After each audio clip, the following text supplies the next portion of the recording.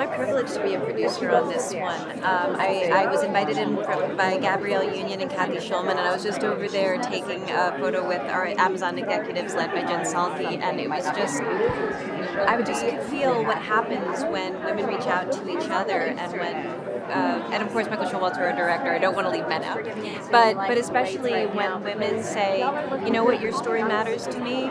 Uh, and then you hear that in return, you're able to do tremendous things, more than you ever thought possible.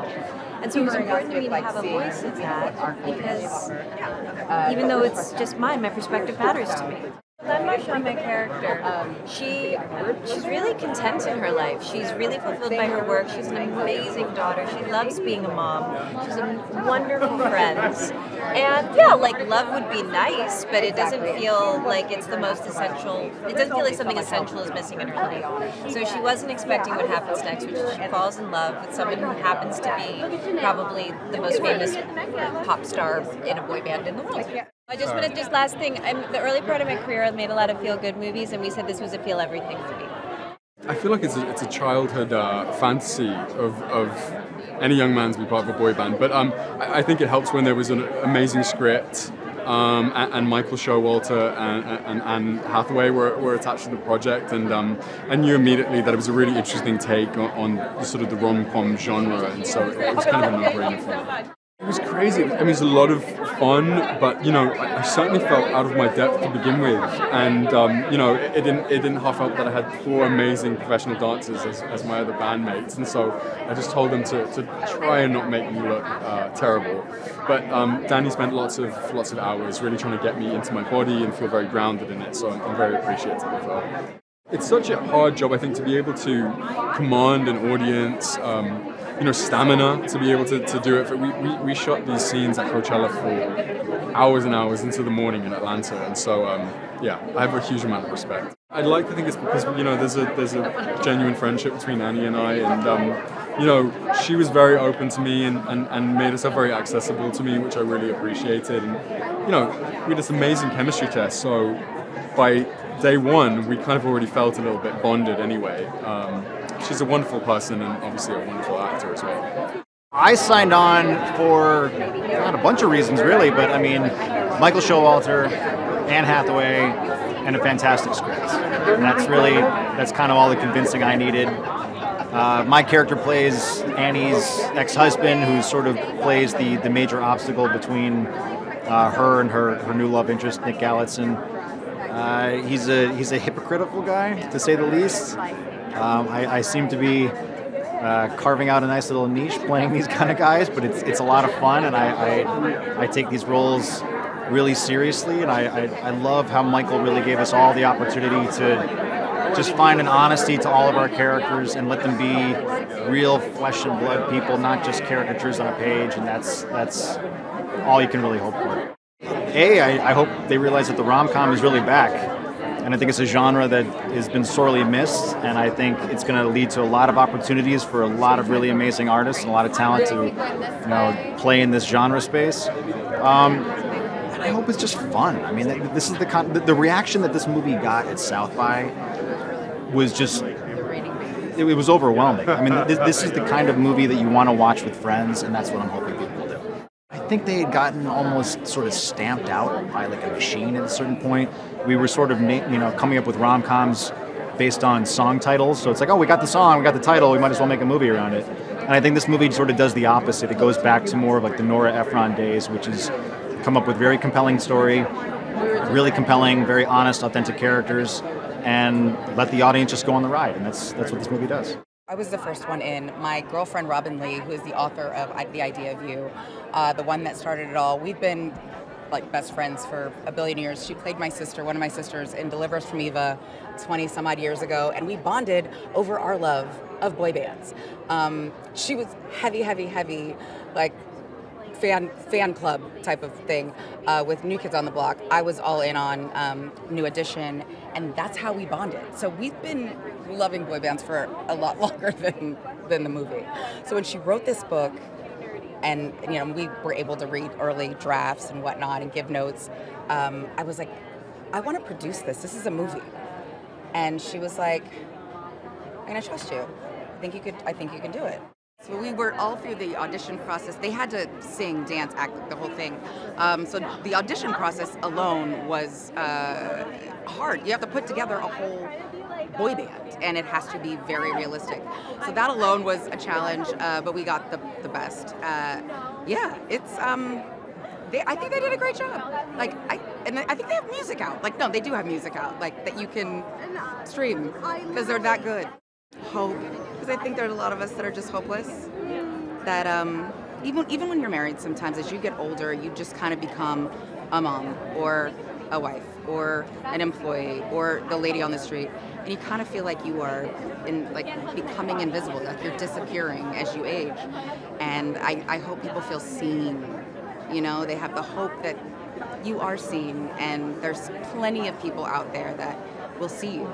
Um, doesn't matter what shape they come in and age perhaps uh, as adults um, but yeah there's that there is hope and that you know people do see us I'm just fascinated by these characters.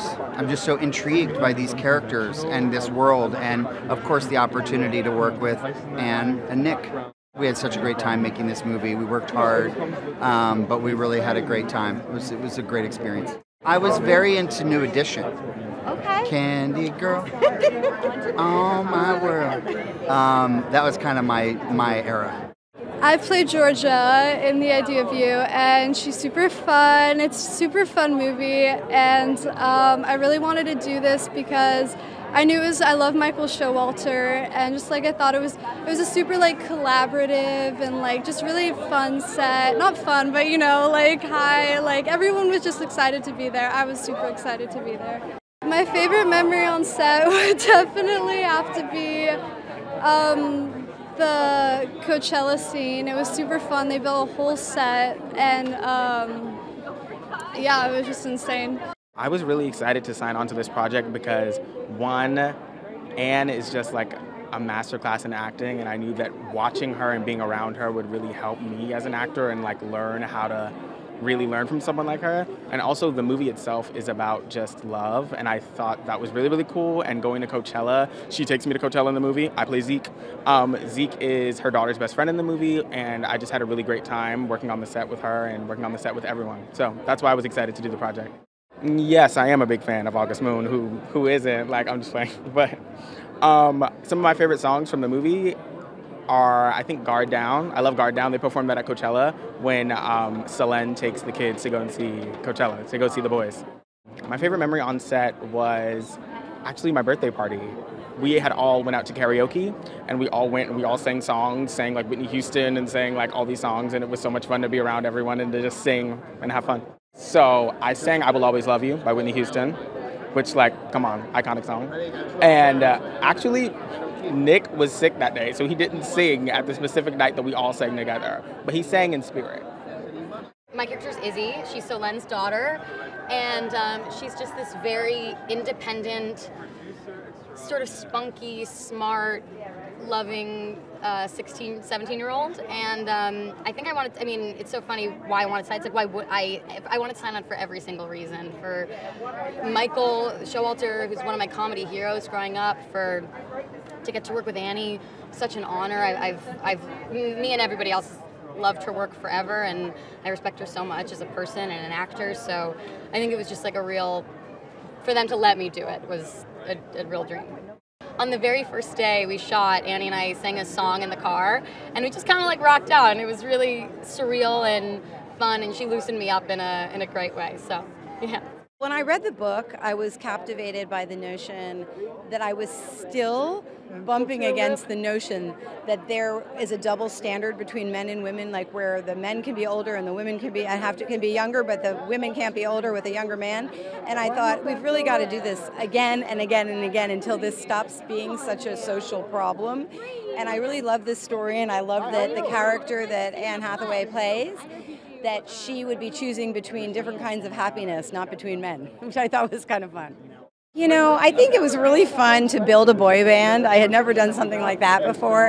And to really have the challenge to convince people that they could be the biggest band in the world and to go through the process of, you know, um, the music writing and the choreography and all that. That was a real challenge. And I just loved shooting in, in Atlanta. And it was the whole process was really good. This was a great cast, a great crew, and we really loved working together. It was a real communal effort. I think that it was so much about the character for me. The I also am a single mom in Silver Lake and 40ish, so seeing a woman that had such a full life get to have this very wish fulfillment story was something that felt really undeniable for me. I mean, it felt so natural and authentic, and I think that Anne had such you know, a clear idea of who Hayes was as well as Solène. And so when Nick walked into the room, it just, Hayes appeared. And it was natural from then. No one had to do anything to make that chemistry, it was just there. I think that I hope people take away watching movies about 40 year old moms going through life and having coming of age stories is something that we should see more of. It's really exciting to watch someone who knows who they are go on this journey. It was really fun to be able to play Anne's ex husband's new, very annoying girlfriend. Um, I love, like, it was fun to be the villain, kind of, um, and obviously just getting to work with her is like a dream, so. It was actually really cool to see them filming those scenes on the stage, like at Coachella, and I mean, I, I, fell in love with all of them, so I'm sure every girl's gonna fall in love with them like I did. I think it was really just fun to like get dressed up, and um, I've actually never gotten to go to Coachella myself, so this was the closest um, I ever got was getting to um, dress up to go. So I do love that we're like painting women in a little bit like I, I love the idea that they're Anne is doing us I think all a big favor by like embracing the fact that she can still be the like lead it girl even though she's not 22 anymore. Like I, I i'm very thankful for that even for me in my own career. So i think a lot of women are going to appreciate like she's just so beautiful and just so classy and like she gets the guy and he's obsessed with her and it's like i don't know it makes you feel good. It makes especially women I'm buzzing. You know, it's it's a project that we worked on uh, over a year ago, and, and now releasing it to the world is very exciting. We worked really hard, uh, had a lot of fun, and now the world gets to have fun with us. You know? I wanted to sign on because I needed a job, uh, and then on top of that, it's Anne Hathaway, Nicholas Galitzine. You know, there's there's not too many red flags. It's it's kind of like a no-brainer. Um, I play Oliver Hoyt Knight. He's a part of August Moon, and uh, he kind of throws a wrench into their party. I was stuck in a room listening to it all the time, so it was kind of like uh, my own score in, in life uh, for, for a few months. And uh, yeah, the music is amazing. I think the, the fans are, are loving it as well, which is which is awesome. And uh, now they get to see some performances with it.